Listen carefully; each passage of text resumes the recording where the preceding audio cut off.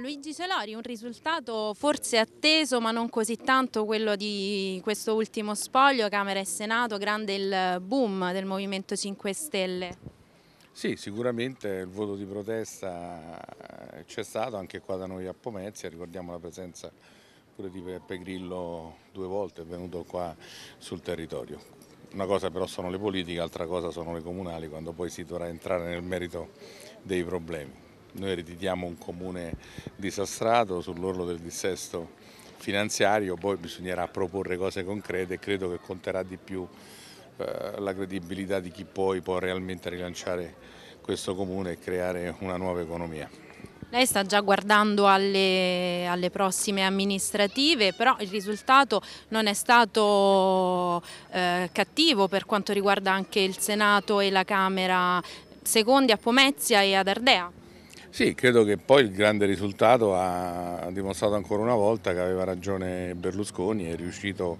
a ritirare sulle sorti del, del PDL, noi partivamo da un 12-13%, questo era il dato che ci accreditavano a livello nazionale come PDL, credo che arrivare a 128 mila voti da Bersani alla Camera sia un fatto estremamente positivo. Questo può dipendere anche dal fatto che nel Movimento 5 Stelle siano confluiti per la maggior parte voti del PD?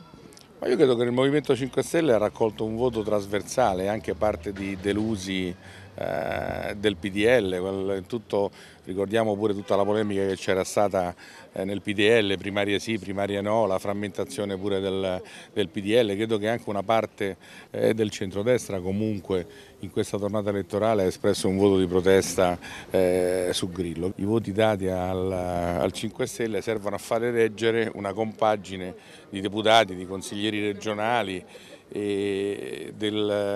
del, 5 Stelle che non sono, sono sì società civile ma sono tutte persone collocate nel mondo antagonista nell'estrema sinistra, quindi magari un voto di protesta dato da un teorico elettore del PDL serve a far arrivare al Parlamento, al Senato e anche in Regione una persona che comunque è dichiaratamente di sinistra, almeno non nel corpo elettorale ma sicuramente negli eletti. Lei è già pronto quindi per le prossime amministrative? Sì, noi partiremo da adesso, l'ho portato qua un, eh, un, un, volantino che diventerà un manifesto, un cartellone stradale e un camper che dice in maniera chiara facciamoci rispettare eh, a casa nostra, è la sintesi delle nostre peculiarità. Partirà la prima fase di Cinecittà World, occuperà 5.000 persone, credo tutti sanno che